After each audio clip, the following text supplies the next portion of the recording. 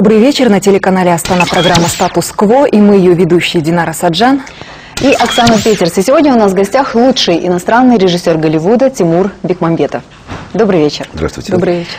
Кинофестиваль «Астана» это стал уже, стал уже традиционным кинофестивалем ко Дню города. И в очередной раз вы подарили а, жителям столицы, гостям столицы очередной праздник. Да? Я, вот я лично сфотографировалась с Винсаном Касселю. Представляете, какое для меня счастье. Вы знаете, ск- скорее всего, э, я в ответ хотел бы сказать, что я благодарен э, жителям города и, и властям города, которые подарили нам праздник, э, потому что все, кто приехал сюда на фестиваль, все э, были в восторге от того, как выглядит город и так, какие А вообще люди- идея кинофестиваля. «Астана», да, вот про- проведение именно в нашем городе, это чья идея? Вы знаете, она родилась в разговоре э, с Мангалитом Магомбетовым в каком-то просто вот я здесь был в Астане, увидел город и красивый, и предложил, и как-то мы в разговоре решили, что это правильная вещь для этого города подарить ему фестиваль. Когда вы делали свой первый кинофестиваль, вы думали о том, что он станет, станет ежегодным? То есть верилось в это? Да, верилось, конечно, верилось. э, Мы не знали наверняка, но верилось, что он станет ежегодно, потому что идея самого фестиваля, она э, уникальная, она простая, и она, она органичная для, для этого города. Смысл его очень простой. Мы, это не праздник кин- кинематографистов, для кинематографистов, а это праздник, э, который устраивают кинематографисты для жителей города. И не случайно именно вы выбрали такое время, когда ко дню города, да? Да. Ну, это не выбрал не я, э, это выбрал, Аким э, города, потому что он лучше знает, когда это все должно происходить. И то, что касается меня, то идея самого фестиваля, фестиваль, в котором, который для зрителей, а не для кинематографистов, это, это вот очень важная вещь. И очень важно еще, что у нас э, в кино- в кинофестивале нет конкурса. То есть у нас нет соревнования между кинематографистами, кто лучше сделал фильм в прошлом. Поэтому нет никаких интриг, нет никакого... Критики, в общем-то, да? Нет критики, она нас мало интересует. Вот, а, у нас есть... э, пока, мы показываем лучшие фильмы жанрового кино, фильмы бо- боевики, фильмы фэнтези, научную фантастику. Отбором того, тех людей, кто приезжает, кто приедет на кинофестиваль, вы лично занимаетесь? Лично я не занимаюсь, но я как-то я в курсе того, что происходит, и очень многие из них, они приезжают под задачи, они не приезжают просто так отдыхать сюда, А, в- особенно в этом году. Это фестиваль наконец встал на рельсы, я так, я так чувствую. Идея э, превращения Астаны в такой хаб, да, в такое связующее такое э, звено между кинематографиями Китая, Японии, Кореи, России, вот этого региона, а- а- начало реализовываться в этом году. Да, мы пригласили сюда впервые и э, пригласили по 30 человек, студентов из трех стран, из Китая, Кореи и Японии. Это молодые ребята, им там по 22, 20, 22 года. Они приехали сюда, всего это было 100 человек. Плюс к ним добавились еще там, 30-40 человек э, Наших, наших, да. наших кин- молодых ребят, кинематографистов. Как им повезло, да? И получился такой вот коллектив, 120 человек, э, которые в течение трех дней как, Не как, пропускали. как, э, работали, нет, работали как... Да, вот чему они обучались? Они, у них были задания, были у них какие? были, во-первых, у них были курсы по костюму, по декорациям, по освещению, по монтажу и компьютерной графике, по режиссуре, по менеджменту кино. Но они много э, увидели, от- глаза открыли. Потому что и, и с ними встречались те люди, которые делали там такие фильмы, там продюсер, там, который делал там такие фильмы, там Храброе сердце, там не знаю. То есть люди, которые делали, э, делают самое, э, самое передовое э, кино. То есть современное, то есть это не люди, которые Когда-то, когда-то, делали да, кино, учились. знаете, да. Это приехали люди, те, те, кого я знаю, с кем я работаю, я могу пригласить только кого я знаю, потому что они, в общем-то, приезжают сюда, в том числе и э, Просто поддержать друга. просто поддержать друга. Потому Ну, что единственный вопрос, Тимур, а, вы знаете, я хотела спросить, а что делал Аркадий Укупник на кинофестивале? Аркадий Укупник, э, ну, есть часть, это, это вот э, то, что осталось от э, часть необходимая, наверное, фестиваля. Все-таки это праздник для э, жителей города тоже. И они хотят видеть людей, которых они любят. Поэтому сюда при- при- приехал Винсент Кассель, поэтому сюда приехал Укупник, приехала Лиза Боярская. Они не читали лекции, они не, не занимались, э, не участвовали вот в, этой, вот, в этом процессе. создание этой вот киношколы, что ли, такой вот, да, в Астане, они приехали для того, чтобы развлекать э, жителей города. Вот, э, Касательно а, мастер- а, о мастер-классах, да, вы нам много интересного рассказали. Вот действительно давно созрела уже та идея создания киношколы. Сама идея, как трансформируется наш фестиваль, она говорит о том, куда мы движемся. Мы движемся к тому, чтобы в Казахстане появилась э, киноакадемия, киношкола, которая могла бы вырастить ки- кинематографистов будущего из стран э, Азии, Китая, Японии, Кореи, Казахстана здесь. Потому что Казахстан обладает уникальной особенностью, сама политика государства, и э, исторически это территория, которая, земля, которая не конкурирует ни с, ни с одной из больших держав, ни с Китаем, ни с Кореей, ни с Японией, хотя они между собой очень активно исторически конкурируют и враждуют. И, э, и это единственное место в Азии, которое может стать центром, куда они все могут приехать и вместе общаться. Это что- ваша идея, да, создания Ну киношколы? да, наверное, да. да. А власти наши готовы поддержать? Да, вас? нас э, э, на первый шаг уже поддержали, нам вот выделили э, какую-то территорию, э, вот замечательное место, там недалеко от э, Хан-Шатыр, где мы должны начать э, строить. Вот сейчас мы собираем всех заинтересованных э, в этом лиц, структуры. Вы сами будете курировать, да, эту киношколу? Ну, я думаю, что без этого я бы не, не- не говорил сейчас здесь об этом. И интересная вещь, потому что э, город, в нем можно снимать Америку будущего. То есть вот у меня был мой продюсер, э, э, при- приезжал, Джон Келли, с которым мы снимали фильм о Линкольне. И он посмотрел и говорит, а вот здесь можно снимать э, Америку в будущем. Мгм. В этом году вы открывали кинофестиваль своим фильмом «Президент Линк- Линкольн. Охотник за вампирами». Да? То есть а, вообще уже у вас образ, вы знаете, специалиста по вампирам И по, и по, сложился. и по- да, и по, по- э, вы помните, если была такая рекламная кампания Банка Империал в 90-е Да-да-да, годы? я помню. Да, я снимал очень много э, историй про великих... э, Исторических личностей. Чингисхан, Да, Чингисхан, а, Тамерлан. Цезарь, да, по-моему? Цезарь, Тамерлан, там, Екатерина, Наполеон. И вот Линкольн это, э, это как раз проект, который в себе сочетает две вещи. Те притчи, э, очень полезные и, и поучительные притчи э, про великих мира сего, сочетает с жанровым кино, современным развлекательным кино. Так что Как вы думаете, вот сможет ли повторить а, этот фильм кассовый успех, а, например, фильма вашего же фильма «Особо опасен»? Не не думаю, потому что, э, в общем, за- затея очень рисковая оказалась. То есть мы соединили две вещи, которые никогда в жизни никто не соединял. Так называемый фильм «Байопик», то есть фильм э, биография, автобиография реального человека и э, сумасшедшее кино про кровососущих э, гадов. И получилась такая вещь, которую, в общем, никто никогда не делал. Вообще, так Вы же пол- очень сильно рисковали, тем более вы же понимаете, вы же не знаете, как, рискуем. как, вот как вы зацепили знаете- американского зрителя. Вы знаете, всегда рискуем. Да? Без этого невозможно, невозможно э, заниматься нашей профессией, потому что от нас же зритель всегда ждет того, что мы его удивим чем-то. Ну, вы знаете, когда вы снимаете коммерческое кино, да, вот, и когда в вашем фильме играет Анджелина Джоли, вы же уже понимаете априори, что фильм уже успешен, да?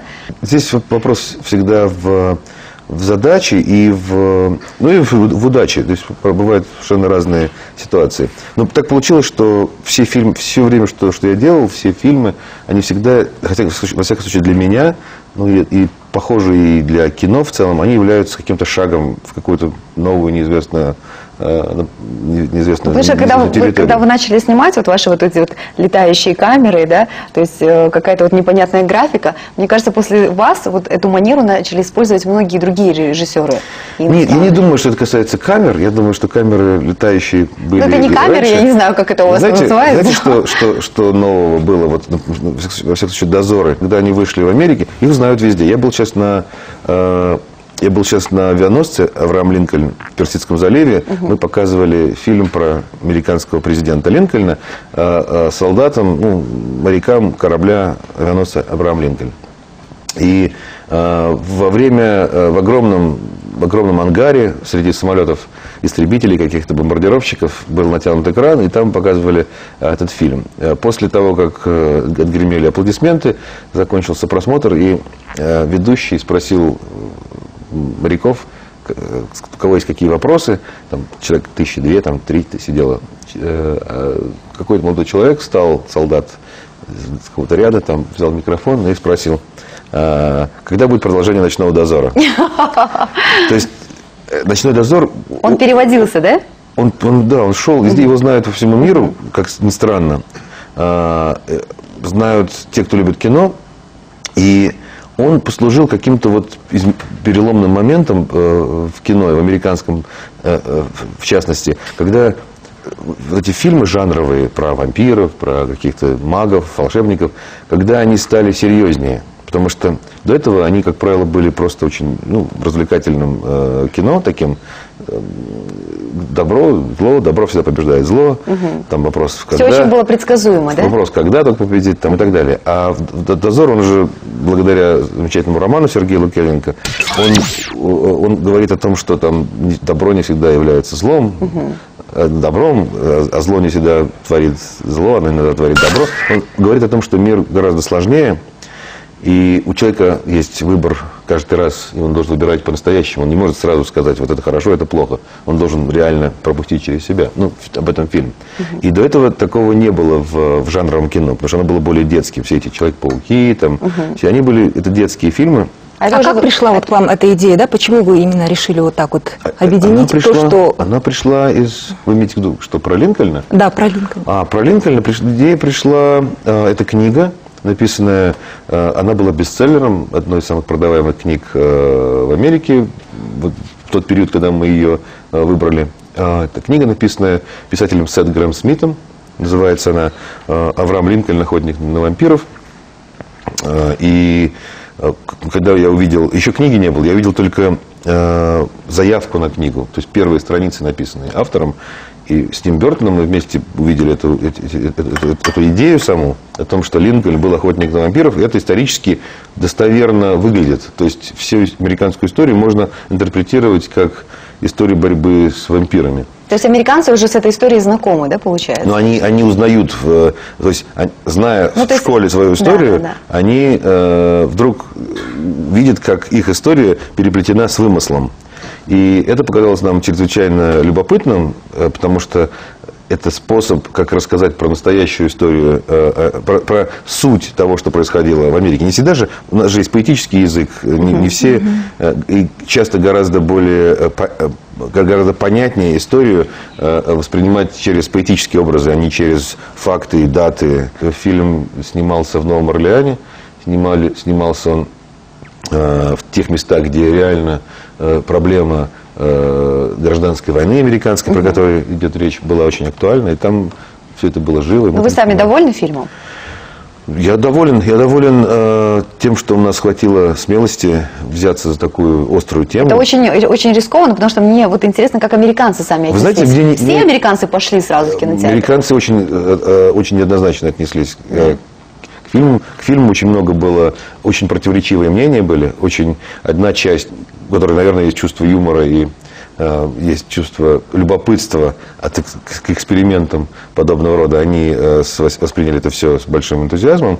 Э, Часть американцев, которая все-таки как я понял потом, я этого не сразу понял, э, мне казалось, что американцы очень, очень э, патриотическая, очень сильная патриотич- патриотичная нация.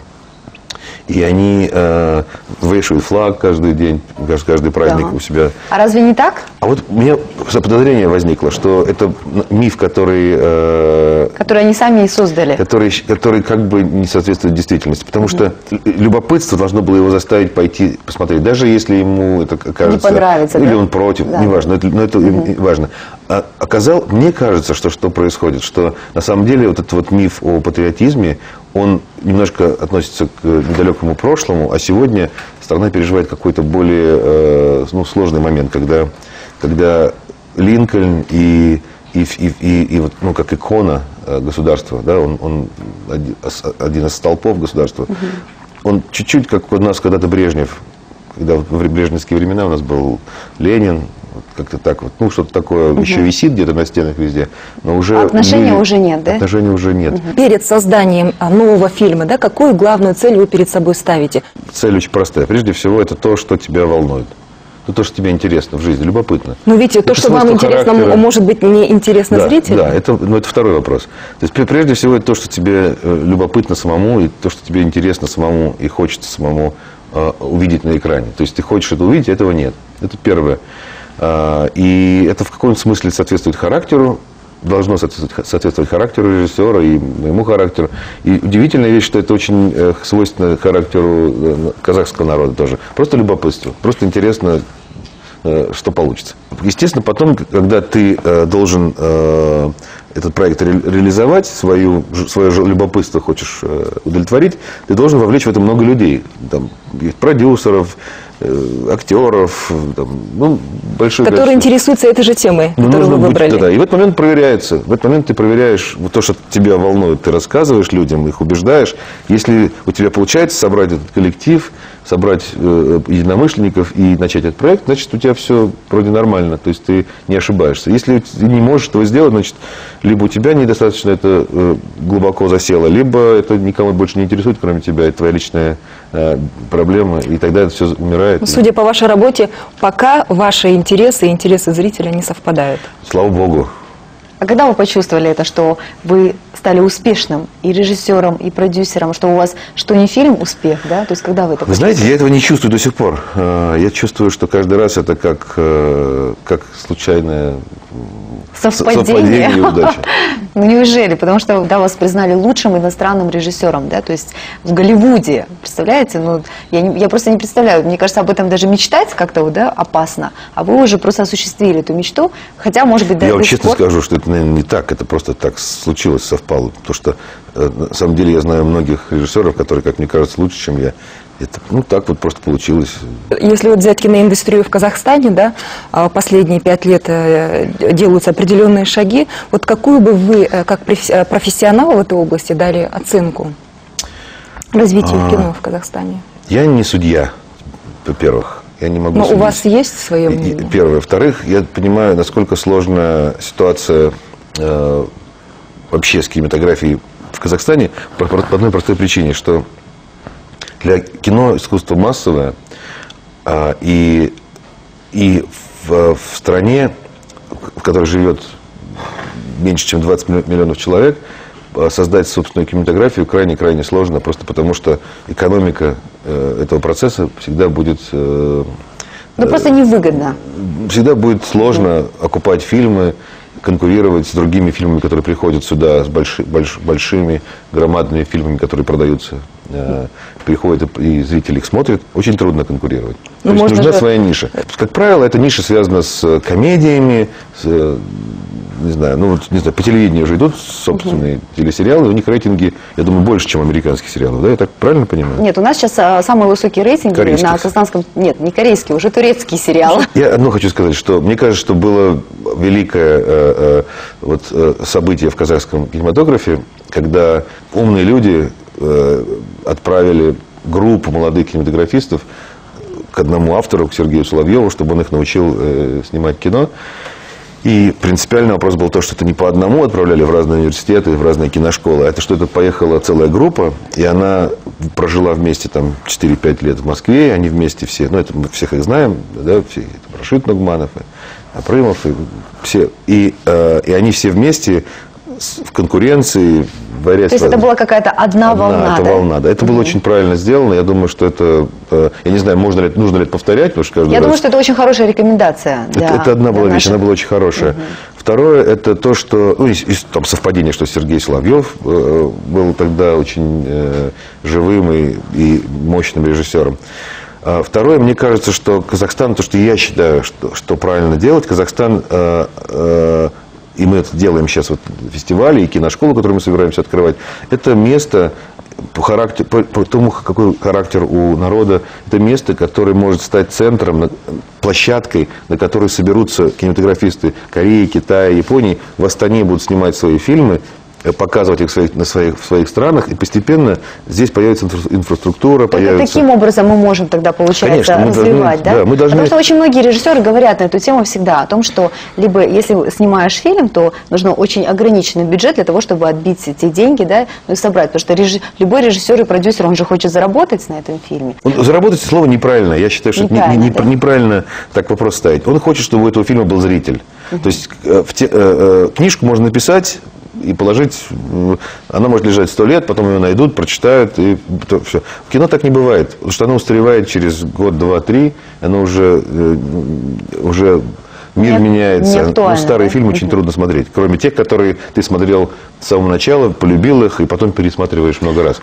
Поэтому мне кажется, что кино, оно требует зрителя. То есть кино нет, пока нет зрителя, пока, пока залы не наполнились людьми, фильма нет. Есть просто пленка, которая, вот, ну, пленка сейчас вообще цифра, которая не является кино сама по себе. А как заставить человека прийти на ваше кино, да? То есть- Никак, это нужно... Бывают разные вещи. Бывает, идут на известного режиссера.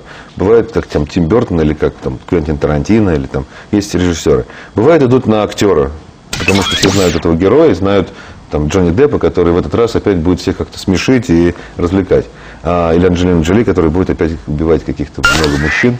Из-за этого женщины будут ее очень любить, потому что она выглядит сильной и э, уверенной. А иногда идут на, на, на бренд. Например, э, Дисней. Все знают, что если диснеевский фильм, значит, это будет для детей, будет весело, для семьи, для семьи будет всегда... Или там вот мы, э, Базилевс, моя компания э, московская, которая выпускает фильм «Елки», каждый, там, каждый год выпускала. И э, люди просто знают, что эта компания выпускает эти фильмы. И в этом году будут не «Елки», в этом году будет фильм... э, «Джентльмены удачи» такого? да. Но это будут те же самые елки, просто в другом. И, кстати, очень интересно для Казахстана, потому что у нас в каждом фильме у меня есть какой-то какой-то ну, привет э, Казахстану в, в- в истории с джентльменами удачи.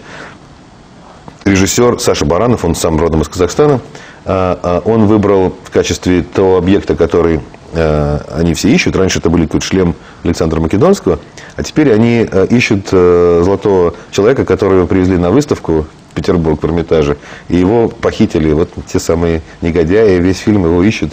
Хочется узнать, а как вы начинали, если возвратиться много-много-много лет назад, да, потому что наверняка не сразу вы сняли большое кино, не сразу вам а, Начинал, значит, начинал я, было начинал я, признание. э, начинал я э, как режиссер. Я начинал э, в Алмате на киностудии «Казахфильм».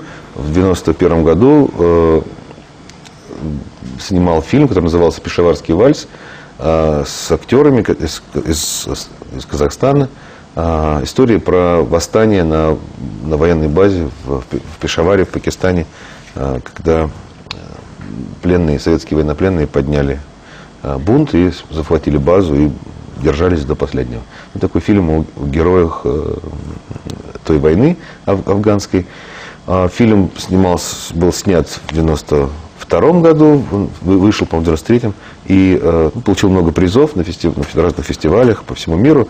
Ну, к тому времени, к сожалению, в то время не было кинопроката никакого, не было кинотеатров, э, все были закрыты, э, была перестройка, и он у него не было судьбы зрительской. То есть его все смотрели на каких-то кассетах, но в кинотеатрах его не было. Вот а с тех пор дальше я, поскольку я, э, это такая травма психологическая, что ты делаешь кино, а его Да. кроме критиков никто не видит, она меня э, сподвигла на то, чтобы перейти в другую область, в область э, рекламы и музыкальных клипов, где я с 92 по 98 год, 99 провел замечательное время, снимая рекламные ролики. Но это вы уже делали в России. Да, это, это уже было в России, но вы знаете, три я точно снимал в Казахстане. При первой возможности я находил, э, э, я пытался э, снимать здесь. Я снимал ролик про Тамерлана, который камни собирал, это было недалеко от Алматы. А Снимал э, ролик про э, Чингисхана, его мало кто верил. Если вы показали, было бы очень здорово. Я вам найду этот ролик. Он, его очень хорошо было показать. Он очень актуальный сегодня. Про Чингисхана, который э, э, решал, кому из сыновей оставить ос- оставить трон. И потом дальше появились дозоры, я снимал здесь дозоры, дневной дозор снимался под Алматой. Почему вы не остались у нас в Казахстане? Я живу там, где я работаю, так устроен наш, наш, э, наша профессия, как, как чабан, как пастух, он идет за, за овцами. Это вот ваш, идут- вас, ваше казахское, да, вот это вот, вы ну, это- кочевник. ну да, куда они идут, туда ты идешь. Для нас овцы это вот кинопроекты. Вот кинопроект у тебя происходит, у меня был там, э, снимал я особо опасен. Я прожил в Праге там год почти, э, потому что мы снимали там в Праге. Потом был фильм «Сейчас Линкольн», я прожил в Новом Орлеане почти тоже год. Так мы идем за, за А проектами. дом, дом, дом где ваш? Дом в, Где ваша супруга в вас ждет? самолете, в самолете, который движется от одного места к другому. Я, не- не- нет еще такого ощущения у меня, как вот место, где я должен жить. И потом я вас глубоко э, хочу заверить, что все, что я делаю, можно можно спокойно, поскольку э, я родился в, в, в вырос в Казахстане, все, что я делаю, можно называть э, казахским кино, поэтому я не вижу в этом ничего э, нелогичного. Но тем не менее у вас российское гражданство, да?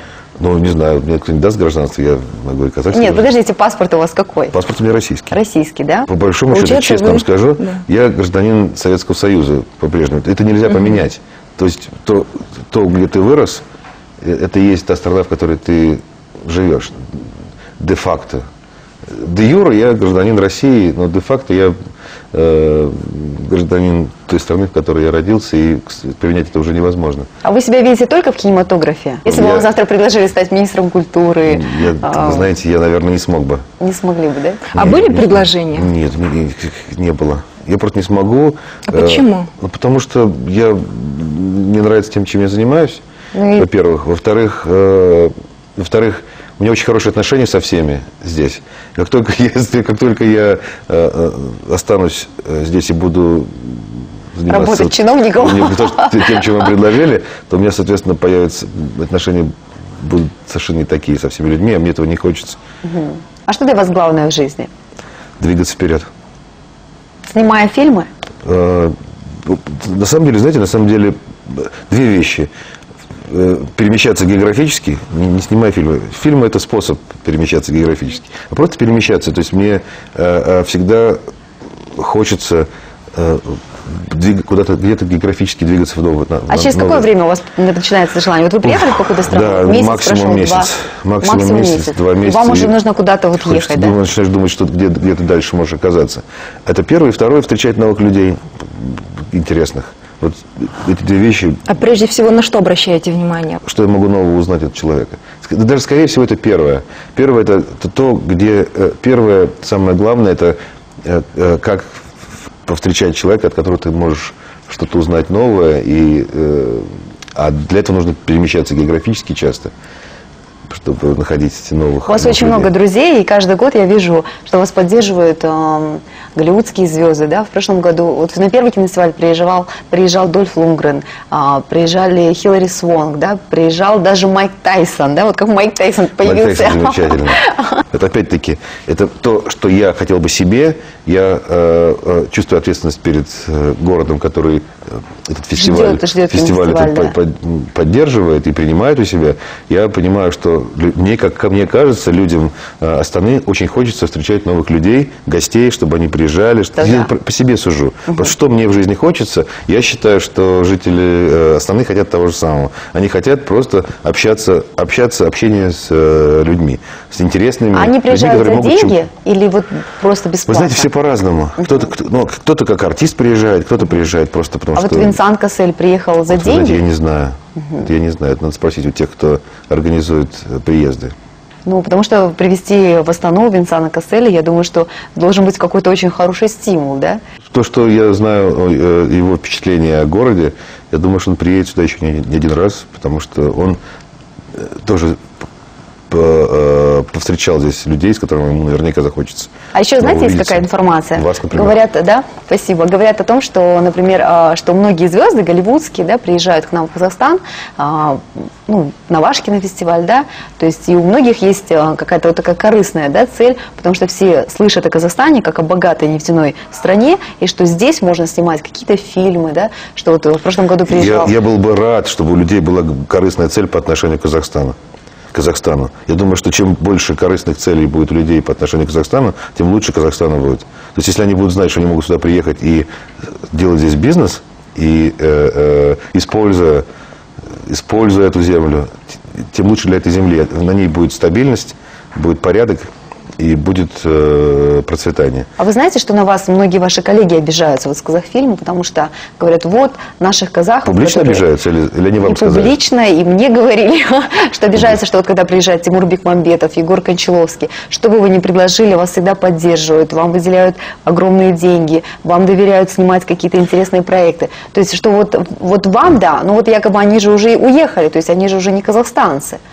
Вы знаете, э, вопрос провокационный, но абсолютно бессмысленный, потому что э, ни одного проекта в Казахстане на деньги Казахстана я не осуществил. Ну, кинофестиваль, это же тоже казахстанский проект. Я считаю, что я, я думаю, что э, я бы мог этот фестиваль проводить в, в Рязани или в Владивостоке с точно таким же успехом, или в Лос-Анджелесе. То, что я это делаю здесь, это Вы больше помогаете я, я нам, считаю, что получается. Я, я считаю, что я э, э, помогаю людям и, и, и, и встречаюсь. Для меня это возможность встречаться с людьми, которых я люблю и которыми я с удовольствием провожу эти 3-4 дня в году. Вы меня можете спросить вопрос, готов ли я, если у меня будут съемки, бросить их и приехать, э, потому что я должен гарантировать, что я буду здесь каждый, э, каждый год в это время. Но так просто пока у меня такого выбора э, не было. Пока каждый раз, когда я... э, Когда вы приезжаете в Астану, то есть в это у меня время вы свободны, в да? время свободен. То ли вот судьба так. Вы нас балуете, потому что мы, журналисты, уже ждем новых голливудских звезд, у кого можем взять интервью, да, то есть увидеть, Я надеюсь, скоро я вас перестану баловать звездами, потому что цель фестиваля поменялась. Мы, не- мы, мы- цель, цели фестиваля, э, вы знаете, просто фестиваль состоит из двух частей, вот я сейчас вижу. Одна часть это люди из кино, живые, талантливые, с идеями, обсуждают, как, что здесь делать, как снимать эти прекрасные здания, которые построили э, этот город, этих людей, общаются. А другая часть – это тусовка э, э, достаточно богатых, успешных и б- состоятельных людей, которые просто э, э, гламурные, то, что называется, которые просто э, ради... Увидеться, показать Увидеть- себя. увидеть, показать себя. Вот эта часть меня, честно говоря, мало интересует. Я не думаю, что это важно. Я думаю, что это всегда будет, это несложно сделать. Получается, что основное время, оно как раз-таки тратится на тусовки. Насколько Вот- это вот в этом году- целесообразно? В этом году это не так. Вот в этом году как раз э, фестиваль эти- эти- этим отличается. Вот первый год это было важно, потому что это нужно было, чтобы это стало событием, ну, в том числе среди людей, среди гламурной публики э, э, э, Казахстана. А в этом году очень ясная цель. Казахстан будет э, территорией, на которой крупные, крупнейшие кинодержавы Азии, Китай, Корея, Япония смогут э, э, договариваться, общаться и производить фильмы. Потому что если Китай, Корея, Япония свои рынки объединят, он будет больше, чем Это американский будет рынок. в два- громадный, громадный рынок. больше, чем да? американский рынок, будет в два раза. То есть м, китайские кинотеатры, японские, корейские. Если объединяться, если это будет одна территория, где одни и те же звезды, э, потому что люди внешне похожи, э, э, культуры близки. Если они э, смогут найти, создать общий, э, единых звезд, единый, единый рынок, то американский рынок окажется э, ну, половиной этого рынка, если не меньше. Сейчас это звучит еще как-то вот ты не веришь, да, этому, потому что, ну, очень хотелось бы, потому что если у нас э, в Казахстане будет, и, и в Астане у нас будет такая киношкола, представляете, это будет, и к нам будут приезжать из... Будет на будущий год, на будущий год, я уверяю вас, мы с вами будем здесь сидеть, и мы... э, То, что произошло сегодня, киношкола Дай уже бог, случилась. У нас есть уже киношкола, у нас приехали уже эти 90 студентов из этих стран. Они провели здесь три дня, они вчера, уезжая, плакали и целовались. И я уверен, что через э, год они приедут сюда вместе со своими друзьями, и здесь будет больше людей, мы привезем больше им педагогов. И я думаю, что уже с этого года, с ноября, начнутся э, онлайн-курсы, и к моменту, пока, когда будет построена э, некая, ну, павильоны какие-то для, для обучения, ну, съемочные павильоны, ну, это уйдет на это год, я думаю. Вот мне интересно, когда вы едете по левому берегу, да, у нас же очень красивый левый берег, и он еще такой продуманный, у нас очень много красивых зданий. У вас никогда не возникала идеи, то есть глядя на эти новостройки, да, они же еще очень такие интересные, то есть на Ахурту, у вас не было мысли, что вот здесь можно было бы снять вот какой-то элемент там для этого фильма? Да вы знаете, даже таких сценариев еще никто не написал. Нет, го- город очень красивый, и, э, и, и он может быть... он- в нем нельзя снимать Америку, потому что Америка еще не такая, как... Не как надо основа. снимать Америку, можно же что-нибудь другое Да, снимать. да, Ну, город будущего, да. А сейчас вы над каким проектом работаете? Или вы сейчас, у вас сейчас время отдыха? Вот конкретно сейчас не над каким.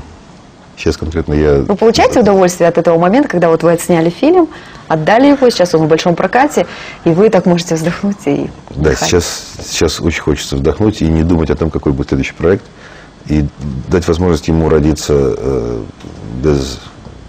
Ну, В течение какого без- без времени оби- обычно, вот вы же, у вас же есть... Вы знаете, у меня очень много обязательств опыт. есть то- того, что я э, пообещал и должен над чем работать. Я должен сейчас просто выбрать, что это будет, и очень хочется оттянуть этот момент подальше, чтобы это произошло. Потому что очень высокая ответственность за этот выбор, потому что ты на два года, как минимум, погружаешься в какой-то другой э, проект с другим, с какой-то определенным количеством э, и, и определенной командой, э, определенной темой. Неужели вы не, не рассчитываете? То есть вот этот фильм, вы же уже, у вас уже профессиональный взгляд, вы же видите, что этот фильм, да, он будет успешен там, здесь а, вот как бы не, не, не разрешаете, К говорить, сожалению. заработать, но кассовые сборы, вы говорите, да, вот этот фильм, он коммерческий, он будет очень успешный, он, да, а этот фильм, может быть, может быть, пока не надо. А, Там много обстоятельств. Э, э, У, разных, у каждого фильма есть своя, у каждого фильма есть своя тема, то есть проблема, о которой говорится в фильме. А, И нужно быть уверенным, нужно понять, насколько эта тема а, Затронет, за- да? будет волновать э, людей. То есть, вот, не знаю, фильм, там, не знаю, история Ромео и Джульетта, это про вражду двух Кланов, И если в стране нет кланов, нет вражды, Мы не поймем. то она никого не интересует. Про что это? Ну, кто-то с кем-то там где-то когда-то был. То есть каждая тема, она прежде всего должна быть Да, актуальна. вот какая тема актуальна сегодня в Казахстане? Ну, в Астане, я вам скажу, это кадровые рокировки. Я вот, не Придумали думаю, что, я вот не думаю, что простых людей, вот, я думаю, что вы говорите про очень небольшой круг людей, которые э, э, вертятся вокруг. Я вам говорю про Астану. Аста- Астана – это город, большой мегаполис, он ничем не отличается от Москвы, по большому счету, от Парижа, Нью-Йорка. Люди также устроена жизнь в каждом большом мегаполисе, и есть проблемы, которые наверняка э, волнуют одинаково людей сейчас по всему миру. У нас глобальный мир, информация вся гуляет свободно, все Проблема, э, ради чего, э, э, ради чему учить своих детей. Например, э, в советское время было понятно, каждый э, э, должен были быть равен, равных, все да. должен быть равен, Да. равенство, братство, равен, и каждый должен трудиться ради общества, а общество должно вознаградить человека по заслугам. Ну, коммунизма не было, поэтому по заслугам. Сколько ты сделал, столько тебе общество и э, выделило. Это иде- одна идея была. В Америке идея совершенно другая. Там каждый э, ку- кузнец своего счастья, сколько ты сам создал, сколько ты территории смог себе отвоевать в этом обществе, не нарушая законов. Успех. Это, это просто философия успеха. Не служение обществу, а территория, философия успеха. Это И американская мечта. американская мечта, что каждый человек может стать... да. Богатым. Вот э- все эти э, вот сейчас проблема в том, что э, в обществе, в обществе Ценности поменялись. ценности, они зашли в тупик все. В Казахстане есть важная вещь, есть э, идея, она была 20 лет, слава богу, идея создания государства. То есть неважно каким способом, неважно американскими способами, советскими способами, просто нужно было создать, э, сохранить, создать, ну, со- сохранить или создать. Но мы эту идею создать. уже реализовали. То Я есть не мы уже думаю, живем в пока независимом да, государстве. Ну, пока она, думаете, что- она реализуется, она, вот город есть, он, он знак ее, э, того, что это произошло фак- фактически, но да, и да, и сейчас переломный момент такой, вот что дальше, как, как дальше, вот есть государство. Но кино да. это же большая идеология. Вот как раз-таки вы можете направлять, куда, К сожалению, вот смотрите, к сожалению, э, да, мы можем это э, экранизировать, но создать эту идеологию кино ну, не может. Это все-таки вопрос э, прерогатива политиков. История о том, как когда-то создавалось государство, в прошлые времена, как сегодня, она очень, это очень важно снимать, это очень важно, чтобы это было снято, рассказано и подведен итог этому процессу, который заканчивается. Но сейчас вопрос будущего, вопрос того, какое место мы все займем вот в, в мире. То есть как мы, жители этой страны, сможем повлиять на мир, изменить его.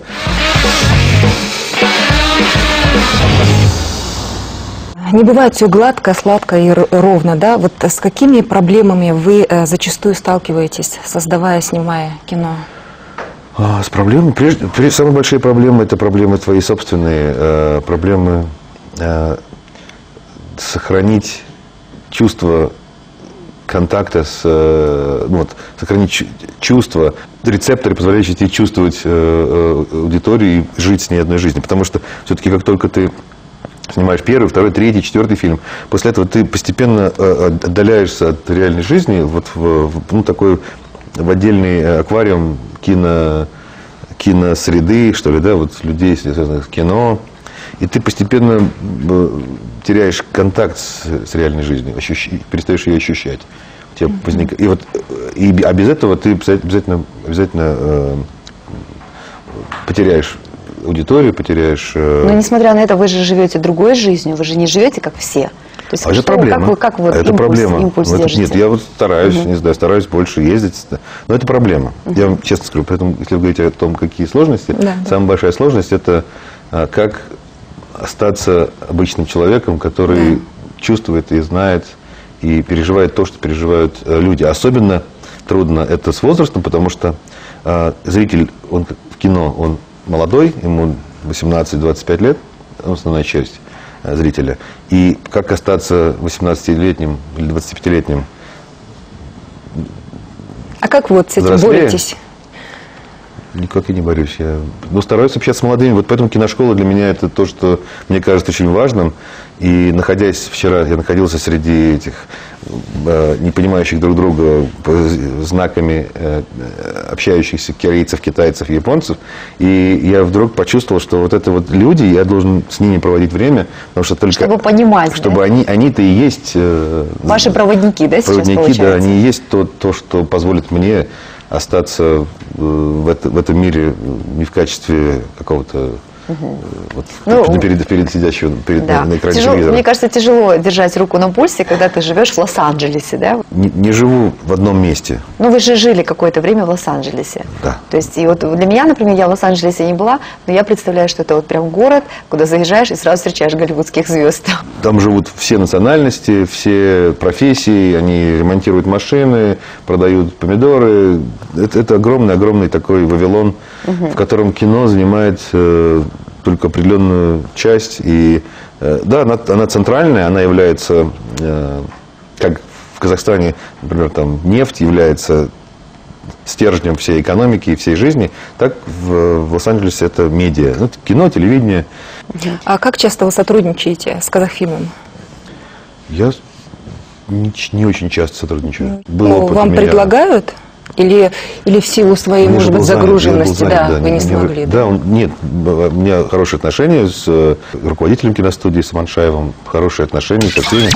Просто это должно как-то родиться, это не всегда, не всегда в, наших, в нашей власти, как это произойдет. Вот вы сейчас а, лучший иностранный режиссер Голливуда, да? То есть любой голливудский актер, я думаю, что сейчас с удовольствием снимется в вашем фильме, да? Вы сняли Анджелину Джоли, потому что, мне кажется, договориться с Анджелиной Джоли, м, это тоже очень сложно, да, для любого режиссера. А Сейчас есть а, актеры, которых, которые, которые вам очень нравятся, которые вам импонируют, да, их игра, которых вы бы заде- хотели задействовать в своих проектах, Вот Винсент Кассель мне очень нравится. да? То есть он не случайно приехал к нам в Казахстан. Ну, случайно в жизни ничего не бывает. А Кого еще могли бы отметить? А, Майкл Фасбиндер очень хороший. Из казахстанских актеров сейчас у вас есть кто-нибудь, ам, на, кого, на кого-нибудь, кого-нибудь вы заприметили для себя? Нет, у меня нет проекта такого. Да? У меня нет такого проекта, где бы я начал об этом думать. Нет фильма Неужели у вас не бывает такое, что вот вы видите, что действительно думаете, вот он неплохой актер, просто на заметочку себе взять? Я не, не хочу говорить, потому что я людям испорчу. Ну что ж, мы вам желаем хорошего Спасибо. отдыха, Спасибо. чтобы вы набирались больше сил и, как вы сами сказали, то есть какой-то проект э, рано или поздно созреет. Да? Ну а сейчас, я думаю, что с завтрашнего дня мы все пойдем в кинотеатры наши казахстанские смотреть ваш фильм «Президент Линкольн. Охота на вампиров». Это была программа «Статус-кво». Спасибо за внимание. Смотрите нас каждый четверг на телеканале АСТ.